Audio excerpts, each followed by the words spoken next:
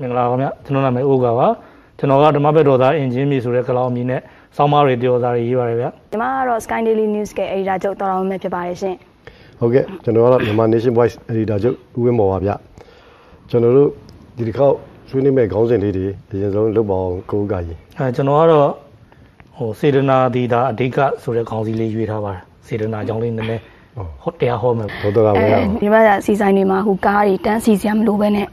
လိုတလောက်ဝယ်လို့ရတယ်ဆိုတဲ့အကြောင်းလေးကိုတင်ပြဆွေးနွေးသွားမှာပါရှင် CGS ဆိုစားသုံးစီမဟုတ်73စီ73စီဟုတ်ပါပြီဗျာဟိုကျွန်တော်လည်းမမှန်တော့ဟိုလင်းနဲ့တိုက်နေတရားလေးပဲဟောမယ်နော်အဲ့ဒီတရားခေါင်းစဉ်နာမည်ကတော့အဇာတတဝတ္ထုပေါ့ဗျာဒါဇတ်တော်လေးအကြောင်းလေးနဲ့လူငယ်တွေတက်ပါအဲ့တော့လုပ်အောင်ကိုဥက္ကရာစားလိုက်ကျွန်တော်ကတော့ဒီပေါ့နော်အခုကျွန်တော်စေနာတီအဓိကဆိုရဲခေါင်းစည်းလေးယူတာဒီကျွန်တော်တို့ဒီစကားလေးကလည်းကျွန်တော်ဗုဒ္ဓဘာသာအထူးသဖြင့်တော့ဗုဒ္ဓဘာသာတွေနဲ့ပေါ့မစိမ့်ဘူးသူကဗုဒ္ဓဘာသာတွေရဲ့နယ်ပယ်မှာအများဆုံး ဟိုပြောလိပြောတာရှိတဲ့စကားလေးပေါ့နော်ရှုပ်စွင်ပြောကြလေဘာပဲလို့လို့စေနာထားလို့ကွာစေနာရဲ့အတိတ်ပဲကိုဖွင့်လာတော့ဟိုပါဠိဒီဒီကိုလည်းမှာတော့ကျွန်တော်အထက်ကရာတွေမှာတော့အများကြီးရှိတာပေါ့သူရဲ့ဘာဟိုဘာသာပြန်ဆိုမှုတွေကတော့အများကြီးပေါ့ကျွန်တော်အဓိကပြောချင်တဲ့အကြောင်းအရာကတော့ဒီစေနာဆိုတာနဲ့ပတ်သက်လို့ကျွန်တော်ဒီပြီးခဲ့တဲ့တပတ်တွင်းမှာပေါ့ပြီးခဲ့တဲ့ရက်ပိုင်းတွင်းမှာကျွန်တော်ဟိုပြုလုပ်သွားတဲ့ပွဲလေးတစ်ပွဲရှိတယ်အဲ့ပွဲလေးပေါ်မှာကျွန်တော်မြင်မိတာလေးပေါ့ဒီစေနာဆိုတာလေးနဲ့ပတ်သက်လို့မြင်မိတာလေးရှိလို့ဒါလေးကိုကျွန်တော်အခြေခံလိုက်တာ တော့ဘာလဲဆိုတော့ကျွန်တော်2022ခုနှစ်အမျိုးသားစာပေတသက်တာစုရရှိကြတဲ့စာပေပညာရှင်တွေကိုကျွန်တော်တို့ဒီပြီးခဲ့တဲ့ရခိုင်တို့ချက်ပိုင်းတွေမှာနိုင်ငံတော်အဆင့်အနေနဲ့နိုင်ငံတော်အဆင့်နော်နိုင်ငံတော်အဆင့်ခန္ဓာနဲ့သူဂုံပြုရှိမြင့်တယ်ဆုရှိမြင့်တာပေါ့ဆုရှိမြင့်ပွဲလေးပြုလုပ်သွားတာကျွန်တော်တွေ့ရတယ်အဲ့ဒီပွဲမှာဆိုလို့ရှိရင်ဒါစာပေပညာရှင်အလုံးသိပါတယ်စာပေပညာရှင်ကြီးဖြစ်တဲ့ဆရာကြီးဒေါက်တာထွန်းတင့်သူရဲ့ကလောင်မီကတော့ဒါဒေါက်တာထွန်းတင့်မြန်မာစာပေါ့အဲ့ဆရာကြီးရဲ့နောက်ဟိုစာပေပညာရှင်ဆရာကြီး ဒေါက်တာရှစ်ဆန်ကလောင်မီကတော့ရှစ်ဆန်ဝင်းပေါ့ရှစ်ဆန်ဝင်းနောက်ဟိုစာပေပညာရှင်ဖြစ်တဲ့ဆရာမကြီးဒေါခင်တန်းဝင်းသူကလောင်မီကတော့ဂျူဂျူသင်းအဲတောက်စာပေပညာရှင်သူကပြည်ဆိုးမင်းဆိုတဲ့ကလောင်မီနဲ့ဆရာကြီးဒေါက်တာတန်းဦးပေါ့နော်သူတို့၄ဦးကနေပြီးကျွန်တော်တို့ဒီမျိုးသားစာပေတသက်သာစုဟိုရရှိခဲ့ကြတာပေါ့နော်ဒီဆရာကြီးဆရာမကြီးတွေနဲ့ပတ်သက်လို့ကတော့ကျွန်တော်ဒီသူတို့အကြောင်းကတော့ကျွန်တော်တိုင်းသီးပြည်သည့်တော့မကောက်ကဘာသည့်ဆရာစာပေပညာရှင်ကြီးတွေပေါ့နော် ဒါဒီစာပေပညာရှင်ကြီးတွေရဲ့စာပေလက်ရလေးဆိုတာလဲကျွန်တော်တို့မြန်မာနိုင်ငံသားတွေနဲ့မစိမ့်ကြပါဘူး။များဆုံးဟိုစာတတ်တဲ့လူစာဖတ်တဲ့လူမှန်တယ်များကတော့ဒီဆရာကြီးရှစ်ဆောင်ဝင်းတို့လောက်ပြောလိုက်ရင်ဆိုရင်ပဲမသိဘူးဆိုတာသူတို့မရှိဘူးပေါ့နော်။အဲ့မှာမှဒီစာအုပ်ကလေးတအုပ်ရေးပြီးတော့တအုပ်ထဲလေးရေးပြီးတော့နိုင်ငံရေးစာပေစုရသွားတဲ့ပုံကိုတယောက်ကြောင်းပေါ့နော်။သူကနိုင်ငံရေးစာပေစုဒီဒီခုနကစုချင်းမြင့်ပွဲမှာနိုင်ငံကျွန်တော်ဒီမြို့သားစာပေတသစုပေးတဲ့ ခန္ဓာမှာသူလည်းစုရတယ်နိုင်ငံရေးစပေစုကိုရတာပေါ့နော်သူကကိုသက်နိုင်ဦးကျွန်တော်ကြည်ကာပေါ့သူ့ရဲ့ကလောင်မီကတော့တက်နိုင်ဦးကြည်ကာပေါ့ကျွန်တော်တို့ကတော့ဟိုယင်းနေတဲ့မိတ်ဆွေတွေလည်းဖြစ်တော့တက်နိုင်ဦးကိုသက်နိုင်ဦးလို့ကျွန်တော်တို့ကတော့ခေါ်တာပေါ့နော်အဲသူကတက်နိုင်ဦးကြည်ကာဆိုတော့ကလောင်မီနဲ့တကြောင်သေးတော့မြန်မာနိုင်ငံထွက်ရက်လန်းမြေပုံကျန်းဆိုပြီးစာအုပ်လေးတို့ရေးလိုက်တာအဲ့စာအုပ်လေးကအဲ့မှာနိုင်ငံရေးစာပေစုရတာဆိုတော့ပြောလို့ရှိရင်စိုင်းဆရာမဟုတ်ဘူး तू က ဒီစာအုပ်လေးတုပ်ကိုသူရေးလိုက်တယ်ရေးလိုက်ပြီးတော့ဒီနိုင်ငံရေးစာပေစုကိုရတယ်ဆိုတော့အဲ့မှာကျွန်တော်တော့တွေ့တာသူ့ရဲ့စေတနာကျွန်တော်တိုင်းပြည်ပေါ်ထားတဲ့သူ့ရဲ့စေတနာပေါ့နော်ဒီစာအုပ်ကိုကျွန်တော်တို့စဆုံးဖတ်ကြည့်တော့အဲ့မှာကျွန်တော်တို့အများဆုံးတွေ့ရတာကတော့ဟိုစာပေလက်ရပေါ်မှာအရင်ကျွန်တော်တို့ပြောစရာမရှိပြီမယ်လို့ပေါ့နော်ဟိုပြောစရာမရှိဘူးဆိုတာဟိုကောင်းတာဆိုခြင်းကောင်းခြင်းဆိုခြင်းကိုကျွန်တော်တို့သူတို့လည်းဆိုစာပေလက်ရပေါ်မှာကောင်းတယ်လို့ဆိုတယ်လို့ဆိုတာသတ်မှတ်တာပေါ့နော်အဲ့ကောင်းခြင်းဆိုခြင်းတဲ့ကိုကျွန်တော်တို့တွေ့ရတာသူ့ရဲ့စေတနာ တိုင်းပြည်ပေါ်ကျွန်တော်တိုင်းပြည်ငြိမ်းချမ်းစေလို့တဲ့သူ့ရဲ့စေတနာကိုအဲ့ဆောင်မှာကျွန်တော်တို့ပြေဝတွေ့ရတယ်နော်အဲ့မှာဘာကုနာကကျွန်တော်တို့ခွဲပြီးပြောမယ်ဆိုရင်ကောင်းတဲ့စေတနာတွေပေါ့နော်တိုင်းပြည်ကိုသူ့အနေနဲ့ငြိမ်းချမ်းရေးရစေချင်တယ်ငြိမ်းချမ်းရေးဖြစ်စေငြိမ်းချမ်းတဲ့တိုင်းပြည်တစ်ခုဖြစ်စေချင်တယ်ငြိမ်းချမ်းပြီးတော့မှဖွံ့ဖြိုးတိုးတက်တဲ့တိုင်းပြည်တစ်ခုဖြစ်ဖို့အတွက်ကိုတိုင်းပြည်အနေနဲ့ရှောက်လန်းတဲ့လမ်းလေးကိုမှကျွန်တော်ဖွဲ့ချုပ်ရှေခံဥပဒေကိုရှေခံပြီးရေးထားတာဗျ။ဆောင်းလို့ရိုးရိုးလေးပဲ အရင်ကျွန်တော်တို့ဘယ်လိုပြောမလဲဟိုရသစာကိုလည်းမဟုတ်ဘူးဆိုတော့လေသူကလည်းသူရတာကလည်းနိုင်ငံရေးစာပေစုရသဘိုင်းကနေတုတ္တဘိုင်းကနေပြီးတော့ရတာမဟုတ်ဘူးပေါ့နော်အဲ့တော့ तू 6လမ်း तू ဟိုဖော်ပြလိုက်တဲ့အကြောင်းအရာတစ်ခုပေါ်မှာ तू ကခုနကပြောတဲ့ကောင်းတဲ့စေတနာတွေနဲ့ကျွန်တော်ကစေစောတိုက်တွန်းလိုက်တဲ့အတွက်ဒီစာအုပ်ကစုရတာထိုက်တန်တယ်လို့ကျွန်တော်ကပြောချင်တယ်အဓိကကျွန်တော်ပြောချင်တာကကျွန်တော်ဘာပဲလုပ်လို့ခုနပြောတဲ့စကားနဲ့ပြန်ပြီးဆက်လို့ရှိရင်ဟိုတိုင်းပြည်ကျွန်တော်နိုင်ငံရေးလုပ်တယ်ပေါ့နော် နိုင်ငံရေးလွတ်တစ်ခုလုပ်မယ်ဆိုနိုင်ငံရေးနဲ့ပတ်သက်လို့ကျွန်တော်တိုင်းပြည်နဲ့လူလူပေါ်စေနာထားလို့မို့ကောင်းတဲ့စေတနာနဲ့ထားလို့ဖို့လိုအပ်မယ်အခုဒီကိုတက်နိုင်အောင်ဆိုလို့ရှိရင်ကျွန်တော်တို့ပြောချင်တာကအဓိကကသူဒီစာရေးဆရာတယောက်မဟုတ်ဘဲနဲ့ဘာကြောင့်ဒီစုကိုရရတာလဲဆိုတော့ကြောင်းတရားကိုရှာအဖြေရှာတဲ့အခါမှာခုနကပြောတဲ့ကောင်းတဲ့စေတနာကြောင့်သူကဒီစုကိုထိုက်တဲ့တိုင်ရသွားတာအဲ့တော့ကျွန်တော်တို့ကျန်တဲ့ပုံကိုယ်တွေကျန်တဲ့ဟိုတွေပေါ့နော်လူတွေလည်းဘ ယ်ကဏ္ဍမှာဖြစ်ဖြစ်နိုင်ငံရေးကဏ္ဍမှာပဲစီးပွားရေးကဏ္ဍမှာဆိုလဲဒီလိုပဲကျွန်တော်တိုင်းပြည်မှာစီးပွားရေးတစ်ခုကလည်းအဓိကအရေးကြီးတယ်လေအဲ့တော့စီးပွားရေးလုပ်မယ်ကျွန်တော်တိုင်းပြည်အတွင်းမှာစီးပွားရေးအခြေခံပြီးတော့ကျွန်တော်လုပ်ကြမယ်ဆိုလို့ရှိရင်လည်းဘယ်တော့ပြောလဲကျွန်တော်ကောင်းတဲ့စေတနာလေးထားလို့မယ်ဗျာဘသူ့ကိုစေတနာထားရမယ်ကျွန်တော်နိုင်ငံတော်ဘောစေတနာထားရမယ်ကောင်းတဲ့စေတနာလေးထားရမယ်ပြည်သူလူထုဘောကောင်းတဲ့စေတနာလေးထားရမယ်ဒီနှစ်ချက်လောက်ညီရင်ကိုကျွန်တော်တို့ကအဲ့လုပ်ငန်းတစ်ခုကအောင်မြင်ဖို့ဂျာကိုင်လုံးတေးတေးကြပါပြီတေးကြပါရောเนาะကျွန်တော်နိုင်ငံရေးလုပ်မယ်ဆိုတော့ထားသဘောကျွန်တော်နိုင်ငံရေးပါတီတွေရှိတယ် နိုင်ငံရေးပါတီဆိုလို့ရှိရင်လည်းကျွန်တော်နိုင်ငံရေးတစ်ခုနိုင်ငံရေးလောကတွေဝင်လုံးကြတော့မယ်ဆိုလို့ရှိရင်ကျွန်တော်ကိုကြိုးစီးပွားတဲ့ကျွန်တော် personal နာမည်ကြီးဖို့ personal ဂုဏ်သိက္ခာတွေတက်ဖို့တဲ့ကျွန်တော်တိုင်းပြည်အတွက်စေတနာကောင်းတွေထားပြီးလုပ်ကြမယ်ပေါ့နော်ပြည်သူလူထုငါတို့ပြည်သူလူထုအတွက်စေတနာကောင်းတွေထားပြီးလုပ်ကြမယ်ဆိုလို့ချင်းကျွန်တော်မအောင်မြင်စရာအကြောင်းမရှိပါဘူးနှစ်ချုပ်ရလို့ရှင်တော့ကျွန်တော်တို့ဒီဒီစာပေစုဝေးပွဲလေးကနေကျွန်တော်တို့မြင်လိုက်ရတဲ့ဟိုရင်လေးကဟိုအမြင်လေးတစ်ခုကပေါ့နော်ဒီကိုတက်နိုင်အောင်ဒီစာအုပ်လေးတော့စာပေပညာရှင်လည်းမဟုတ်ဘူး အဲစာပေဝါသနာရှင်လည်းမဟုတ်ဘူးစာရေးဆရာလည်းမဟုတ်ဘဲနဲ့ဒီစာအုပ်လေးတော့ကနေပြီးတော့သူဒီကျွန်တော်နိုင်ငံရေးစာပေစုနိုင်ငံတော်အစစ်အရနေရှိမြင့်တဲ့ထိုက်တဲ့တန်တန်စုကိုထိုက်တဲ့တန်တန်ရသွားတယ်ဆိုတာဒီကောင်းတန်းပြည်ပေါ်တကယ်ကောင်းတဲ့စေနာထားတဲ့စေနာကောင်းတွေကြောင့်ရခဲ့တာဖြစ်တယ်လို့ကျွန်တော်တို့တိုင်းပြည်မှာအခုနိုင်ငံရေးလောကတွေဝင်လာကြတဲ့လူတွေရှိတယ်စီးပွားရေးလောကတွေဝင်လာကြတဲ့လူတွေရှိတယ်ထို့တူပဲကျွန်တော်လူမှုရေးလောကဆိုလို့ရှိရင်လည်းလိုပဲပရာဟိတာတွေပေါ့နော်ဟိုအနှစ်ချုပ်ကတော့ကျွန်တော်စေတနာကောင်းလေးတွေနဲ့အားလုံးဝိုင်းဝန်းပြီးတော့အလုံးလုံးကြမှာဒါကျွန်တော်တို့တိုင်းပြည်ကြီးကမ္ဘာအလယ်မှာ ဒါလက်မထောင်နိုင်မှာဖြစ်တယ်လို့လူမှုရေးဖွဲ့စည်းဆိုလို့ပြည်သူလူထုကချစ်တဲ့ရှစ်ခင်လေးစားတဲ့လူမှုရေးဖွဲ့စည်းတွေဖြစ်မှာဆိုတာကိုအတိပေးတင်ပြတာပါဗျဟုတ်ကောင်းပါတယ်ကောင်းပါတယ်ဘုရားဟောတော်ကြီးတော်တော်ကောင်းပါတယ်အဲဒီတော့အဲအလက်ကြပါဟိုအဲ့ရဲ့အကျိုးဆက်လာမယ်လာပြီလာပြီဟောဟုတ်ပြီဗျာ အခုဗာလေအခုဟိုလာဟိုရက်ကဆိုလို့ရှိရင်စီဆိုင်တွေမှာတော်တော်လေးကိုကြရက်ထားသွားတယ်လေစီတွေတန်းစီလို့မရတာတွေကားတွေအများကြီးပဲလေဟိုကိုတော့မှမော်ဘီမော်ဘီဒီရန်ကုန်မြို့မပြောနဲ့မော်ဘီသွားတာတော့မှကားတွေနှစ်ထပ်တွေရက်ထားလို့ပေါ့နော်ကားလမ်းပိတ်တာတွေပါရအဲ့လောက်ထိဖြစ်တယ်ပေါ့နော်ဒါပေမဲ့အခုဗာလဲဆိုတော့သူကစီဆိုင်တွေမှာတန်းစီစရာမလိုတော့ဘူးပေါ့နော်အိမ်တော့လိုတလောက်ကိုဝယ်လို့ရပြီဒီအများပြည်သူတွေသွားလာဖို့အတွက်ကိုပြီးတော့နောက်တော့ဟို pride ကားတွေပါရှိမှာပေါ့ပြီးတော့ရုံကားပါညာပေါ့နော်အဲ့လိုကားမျိုးတွေအတွက်ကိုသူကဒီရန်ကုန်လို့နေပြီးတော့မန္တလေးစီဆိုင်တွေမှာ ရခင်ကထက်ဒီလာအတွင်းကိုပေါ့နော်စီ3စဖြန့်ဖြူးပေးထားပြီးွားပြီအဲ့တော့ဟိုတန်းစီစရာမလိုတော့ဘူးပေါ့နော်ဒါပေမဲ့တခုခုနပြောသလိုပဲစေတနာပေါ့ဟိုဘယ်လိုလဲလောဘသားတွေဟုတ်တယ်ဟိုဟာတန်းစီနေတဲ့လူတွေကရှိနေသေးတယ်ဟိုဘာအဲ့ဒါဘာအတွက်လဲဘာလို့တန်းစီနေရလဲဆိုတော့ကိုစားတွေပေါ့နော်အလီအလီလေးဟိုဘယ်လိုပြောမလဲတွားတွားထုတ်တယ်စီးပွားရေးလောဘသားတွေပြန်ရောင်းဖို့ပြန်ရောင်းဖို့ အဲ့တော့အဓိကတော့သူပြန်ရောင်းတဲ့နေရာမှာလဲ तू ကမဟာရယာစီနဲ့ပြန်ရောင်းပြန်အောင်မယ်အဲ့ဒါလေးအဲ့လိုမျိုးပေါ့နော်ဟိုပြန်ရောင်းဖို့အတွက်ကိုသူတို့ခုနအကိုပြောသလိုပဲပေါ့နော်စေတနာမရှိဘူးသူတို့ကသူတို့တဘိုတည်းကောင်းဖို့အတွက်ကိုအများပြည်သူအတွက်ကိုမကြည့်ဘဲနဲ့သူတို့ကောင်းစားဖို့ဆိုတဲ့စိတ်နဲ့ပေါ့နော်ဒီစီးပွားရေးလောဘသားတွေကပေါ့နော်အဲ့လိုမျိုးတွေတန်းစီပြီးတော့အပြင်ဈေးမှာအဲ့လိုမျိုးရောင်းတာတွေ ဟိုတိုးလောင်ပြီးတော့ရောင်းတာတွေရှိရပေါ့နော်အဲ့ဒီအတွက်ကိုလည်းသူကဒီကနေပြီးတော့ထုတ်ပြန်ထားတယ်အဲ့လိုမျိုးတိုးလောင်တာတွေရောင်းတာတွေတွေ့လို့ရှိရင်တိုင်ကြားလို့ရတယ်ပေါ့နော်ဟိုရေနံထွက်ပစ္စည်းကြီးကြပ်ရေးကြီးကြပ်စစ်ဆေးရေးဦးစီးဌာနသက်ဆိုင်ရာတိုင်းဒေသကြီးပြည်နယ်ကြီးကြပ်စစ်ဆေးရေးဆိုင်ရာအရာရှိရုံးတွေမှာတိုင်ကြားလို့ရပြီဆိုတာကိုတရားဝင်သူတို့ထုတ်ပြန်ပြီးသွားပြီပေါ့နော်အဲ့ဒီအတွက်ကိုလည်းဒီဟိုလူသားအချင်းချင်းကုညီဆောင်ဟိုဘယ်လိုပြောမလဲ ထောက်ထားပြီးတော့ဗောနော်ဟိုဟိုဒီလိုမျိုးတန်းဟိုအလီလီမထုတ်ဘဲနဲ့တန်းမစီတန်းစီစီရမလိုဘဲနဲ့ဗောနော်ဟိုလိုအပ်တဲ့လောက်လိုအပ်တဲ့လောက်လေးဝယ်ယူပြီးတော့အဲ့လိုမျိုးလုပ်မယ်ဆိုလို့ရှိရင်ပို့ပြီးတော့အဆင်ပြေဗောဒါဆိုလို့ရှိရင်တိုင်စရာလည်းမလိုတော့ဘူးလူတယောက်နဲ့တယောက်မုံပွားစရာလည်းမလိုတော့ဘူးဗောနော်အဲအဲ့အတွက်ကိုတစ်ဆက်တည်းမှာပဲဒီပြင်ပမှာ73စီကိုပြန်လဲရောင်းချရတဲ့သူတွေကိုအေးအေးယူမယ်ဆိုပြီးတော့ကြီးကြပ်ရေးဦးစီးဌာနနဲ့တရားဝင်စာထုတ်ပြီးသွားပြီအခုဆိုရင်အခုအကိုရဲ့စီ သုံးစဖြန့်ပြူပေးထားတယ်ဒါပေမဲ့တန်းစီနေတဲ့လူတွေကရှိတယ်ရှိတော့ဝင်ဟုတ်တယ်ရှိတော့မယ်ဟုတ်တယ်နော်ဟိုပရာဟိတကားကြီးဆိုလို့ရှိရင်တကယ်တကယ်အရေးပေါ်လို့နေတဲ့ခါကြလို့ရှိရင်တို့မှလုံးဝအခက်ခဲအဲ့ဒီအတွက်ကိုလည်းကြည့်ရအောင်ပဲပေါ့နော်အိမ်စီးတာပဲဖြစ်ဖြစ်အိမ်စီးဆိုလို့ရှိရင်လည်းကုမ္ပဏီသွားမယ်အလုပ်သွားမယ်ဝန်ထမ်းတွေကြိုမယ်အဲ့လိုမျိုးကားကြီးဆိုလို့ရှိရင်တို့မှဒါအရန်ကိုအခက်ခဲတွေဖြစ်တယ်ပေါ့နော်အဲ့ဒီအတွက်ကိုဟိုဒီလိုမျိုးအရေးယူမယ်ဆိုလို့ရှိရင်လည်း ဟိုတရားဝင်ပေါ့နော်အရေးယူမယ်သူထုတ်ပြန်ပြီးသွားပြီထုတ်ပြန်ပြီးသွားပြီအဲ့ထုတ်ပြန်ချက်နဲ့အညီဆောင်ရွက်လို့ရှိရင်ပို့ပြီးတော့ထိရောက်မယ်လို့တော့ထင်တယ်သာရတတရားဟောပါသာရတတရားအဲ့ဒါလေခုနပြောတယ်စေရနာဆိုတဲ့ကံပေါ့နော်ကံကံမဝိအကြောင်းလည်းပြောမလို့ပါဝိဝိတာပေါ့ဝိအကြောင်းလည်းပြောတော့ကံမလည်းပါလာတာပေါ့နော်ကံမဝိဆိုတာရှိတာဝိက၃ပါးရှိတော့ကိလေသာဝိကံမဝိပြီးတော့မှဝိပါကဝိဆိုတာအစဉ်သွားကြတော့အဲ့တော့အမှန်မှန်တော့အဇာတတကဝိတုလေးပြောချင်တယ်ဆိုတာဒီလိုအဲ့ဝိတုဆိုတာအကြောင်းလေးကတော့လူကြီးတွေတော့သိပြီးသားပေါ့ဗျာဒီဝိတုတော်လေးမှာဘာ message ခု၃ခုဟိုမြတ်စွာဘုရားပေးထားလဲဆိုတော့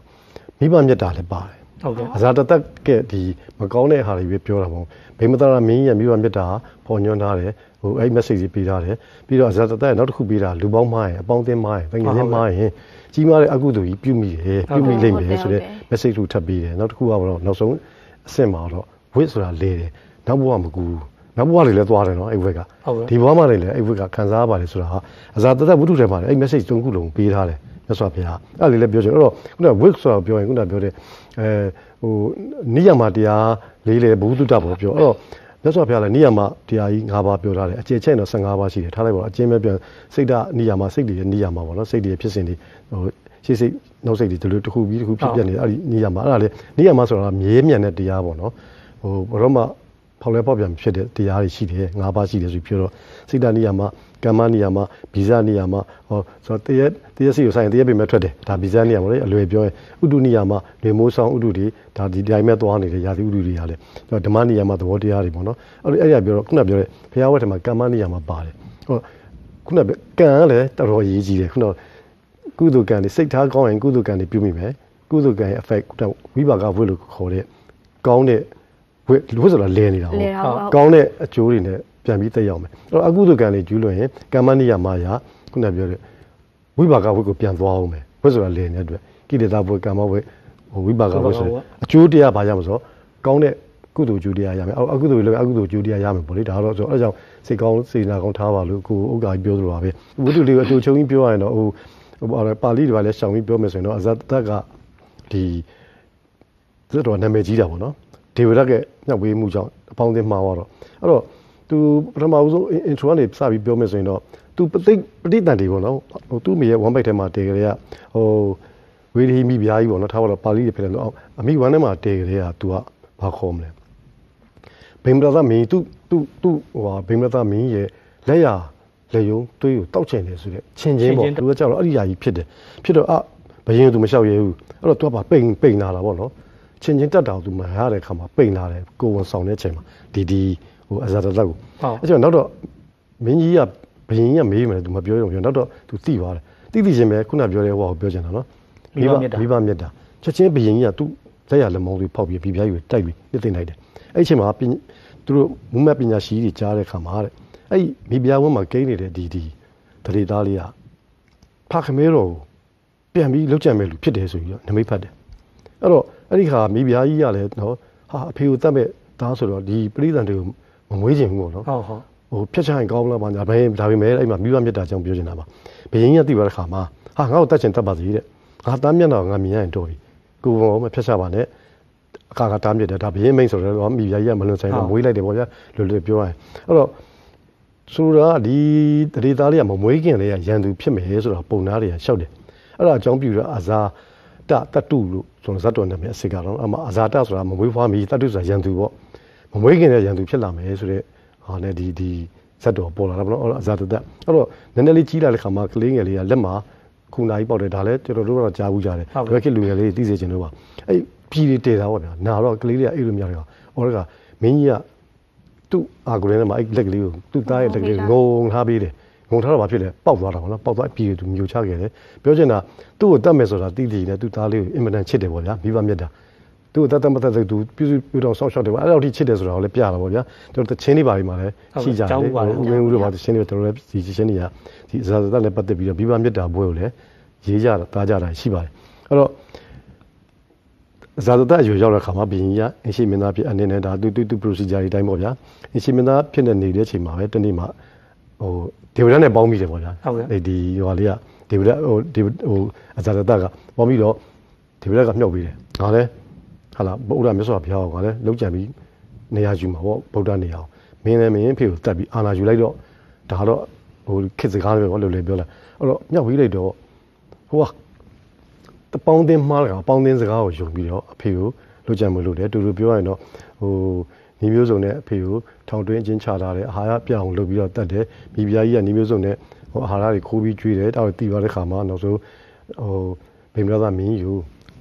ခြေတော့တယ်လေခြီပွားတွေဒါနဲ့မောစားတွေတိတ်ပြီးတော့ရက်ရက်ဆက်ဆက်ပေါ့ဗျာပြောချင်တော့ရက်ဆက်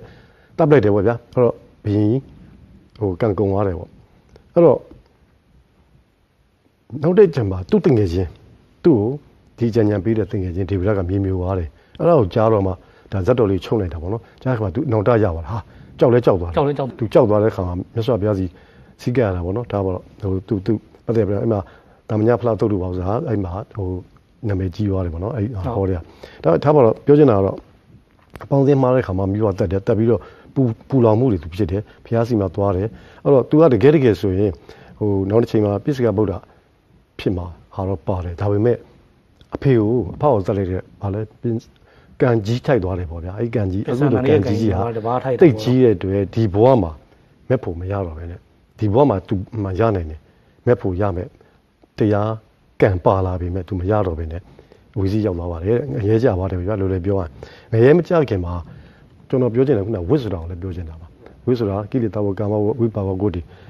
ရှိတယ်အဲ့ဒီမှာမှ तू ဒီဘဝလောက်တဲ့တောင်နောက်ဘဝမှာ तू ငရဲသွားတယ်လေအခုဘဝမှာရောဆိုတော့ သူနောက်ဆုံးမှသူသူသားလေးမွေးတယ်ပေါ့ဗျာသားလေးမွေးပြီးတော့သူသားလေးကြီးလာတော့လေအဇာတသက်မင်းမင်းပြူပြီးတော့မင်းစည်းစိမ်32နှစ်ရှိတဲ့ချိန်မှာတဲ့သာသနာတက္ကရာ24မှာသားတော့ဥရိယဘဒ္ဒါတဲ့သူသားတော့ဥရိယဘဒ္ဒါလောက်ကြံလို့ကံကုန်ပါတယ်တဲ့ဒါဇတ်တော်လေးပေါ့ဒါအချင်းပြောချင်တာသူလဲသူ့ဖေကိုလောက်ကြံတယ်လို့သူလဲနောက်ဆုံးမှာဇတ်သိမ်းမလားလောက်ကြံခံဟာတတ်တဲ့မင်းဆက်ဝစ်ဒီဝစ်ဒီလေလေလေဝါလေနေတာစင်စင်ပေါ့ဟုတ်ကဲ့တိတ်ကြောက်အောင်လေဝစ်ဒီ ဟိုဒီဘက်ကလူငယ်တွေ message ပြင်တာဝိသီအင်မတန်ကြောက်စရာကောင်းပါတယ်ဒီဘဝမှာလည်းလေးတယ်ဆိုတော့နောက်ဘဝမှာလည်းမမဟုတ်ဘူးရပါတော့ကွာဖြစ်စရာဖြစ်နောက်ဘဝကျမှငါငါမကောက်တာလုပ်ခဲ့တယ်နောက်ဘဝခံမယ်ဆိုလို့လည်း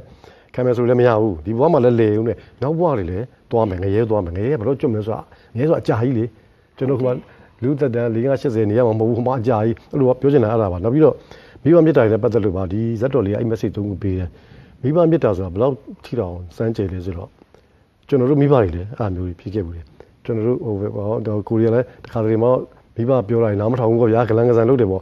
ဒါပေမဲ့မိဘကိုဂလန်ကဆန်လုပ်ပြီးဆိုရင်မိဘတွေကဘာလုပ်သွားလဲသလားမပြောတော့ဘူးမပြောတော့ဘူးဆိုရင်တိတ်ကြောက်စရာကောင်းတာသတိထားစေချင်မပြောတော့ဆိုတာဘာကြောင့်လဲဆိုတော့သားသမီးကိုမဆုံးမခြင်းလို့မဟုတ်ဘူး तू ကကိုကခံပြောလိုက်တာဟုတ်နောက်တစ်ခါ तू ကမိဘထပ်ပြီးပြောမယ်ဆိုရင်သားသမီးကိုလမ်းမမရောက်စေချင်လို့မိဘကပြင်းပြထန်ထန်ပြောမယ်ဆိုကိုကခံပြောပြီးရင်အဲ့ဒါဒီကံကြီးထိုက်တာပဲ ဟိုမိဘကိုအဇာတသက်လို့တတ်တဲ့အထိခံချင်းဖိုက်တော့လဲမိဘကိုအနည်းဆုံးစိတ်နဲ့ပြင်မမိတော့မယ်လေဟာဘာညာပေါ့နော်ဟိုငါ့ကိုပဲဆူနာဘာဖြစ်နေတာပဲတော့ပြောမိအဲ့ဒီစိတ်နဲ့ပြင်မခြင်းတွေလဲဟိုမနှောကနဲ့ပြင်မခြင်းတွေလဲအပြစ်ပါပဲအကုသိုလ်ပါပဲအဲ့ဒီအကုသိုလ်တွေတင့်ပါဆိုလို့တချို့မိဘတွေကဘာကောမလဲကျွန်တော်တို့ဖေတွေအဲ့လုပ်ခဲ့တယ်ကျွန်တော်ကြီးမှပြန်ပြီးခံစားပြီးသိရတာပေါ့နော်မပြောတော့ဘူးဘာကြောင့်မပြောတော့လဲဆိုတော့ကိုသားသမီးငရဲကြမှာဆိုလို့ကိုသားသမီး ဂိုင်းတင်မှာဂိုင်းတင်မှာဆိုအပြစ်ဖြစ်မှာဆိုလို့ပြောတဲ့လောက်ပဲပြောတယ်ပြောတဲ့တော့ကိုသားသမီးကနားမထောင်ဘူးဆိုရင်တအားကြီးတော့မပြောကြဘူးဆိုတာကိုသားသမီးတွေလူငယ်နားလေးစေချင်တာပါမိဘတွေဘာကြောင့်တအားကြီးပြောလို့မရတော့စူဆိုရင်မပြောတော့ဘူးလေဆိုတော့ဂိုင်းကြီးကြီးတင့်သွားမှာဆိုလို့ဖြစ်ပါတယ်နောက်ပြီးတော့ကျွန်တော်မေတ္တာတုံးပါလဲဟိုအင်္ဂါဟိုပြည့်စုံရမယ့်အင်္ဂါချက်တွေထဲမှာနံပါတ်၄ထင်နဲ့ပါပါလာသူကစောစာဆိုတာလေစုံစုံမှလွယ်ယူခြင်းဆိုတဲ့ဟာလေးရှိတဲ့လူပဲပညာရှိတွေမိဘတွေကစုံစုံမှတယ်စုံစုံမှမလွယ်ဘူးဆိုရင် မဆုံးမတော့ဘူးပြစ်ထားတယ်ပြစ်ထားရင်ဘယ်သူဒုက္ခလဲကိုမိမိဒုက္ခရောက်တာပေါ့နော်အဲ့တော့မဆုံးမတော့ဘူးဆိုတဲ့မိဘတွေကြတော့လေဂိုင်းသိမ့်မှာဆိုလို့ပါဆိုတာလေးကိုပြောချင်တာပါကျွန်တော်တို့တရားတွေဟောကြနည်းနည်းကြာအောင်ဆိုတော့ဘာခေါ်မလဲဏီကုံလေးချုပ်မှာဖြစ်တော့မယ်အဲ့တော့ကျွန်တော်တို့ဝေဖန်ဆွေးနွေးမှုတွေကိုနားဆင်ပေးခဲ့ကြတဲ့အတွက်ကျေးဇူးတင်ပါတယ်ခင်ဗျကျွန်တော်တို့ရဲ့ဆွေးနွေးမှုတွေမှာဒေါ်ရဆကျန်းတန်းတဲ့စကားလုံးတွေပါသွားခဲ့ရင်ဖြစ်စီပုဂ္ဂိုလ်ရေးထိခိုက်မှုတွေပါသွားခဲ့ရင်ဖြစ်စီ ဟိုဘာသာတရားတွေကိုမလေးမစားပြောခဲ့တာမျိုးတွေပါသွားရင်ဖြစ်စေနောက်ပြီးတော့ကျွန်တော်တို့ဒီတစ်ပတ်မှာလေဘာသာရေးနဲ့ပတ်သက်ပြီးပြောတဲ့အတွက်မတော်တဆအမှားယွင်းလေးများပါသွားခဲ့ရင်လည်းဟိုခွင့်လွတ်ပြပါလို့တောင်းပန်အပ်ပါတယ်ခင်ဗျကျွန်တော်တို့ရဲ့သတင်းသမားပြောတဲ့သတင်းစကားစီစဉ်ကိုပူပေါင်းတာဝန်ယူထုတ်လွှင့်ခဲ့တာတော့ MRTV နဲ့မြန်မာမီဒီယာကလပ်တို့ဖြစ်ပါတယ်ဗျမြန်မာမီဒီယာကလပ်ကိုဆက်သွယ်ခြင်းနဲ့ဆိုရင်တော့ဖုန်းနံပါတ်39 6969 913943ကိုဆက်သွယ်နိုင်ပါတယ်လို့ပြောရင်းနဲ့ဒီတစ်ပတ်စီစဉ်လေးညီုံချုပ်ပါတယ်ခင်ဗျ အားလုံးကျေးဇူးတင်ပါတယ်ဗျာအားလုံးကျေးဇူးတင်ပါတယ်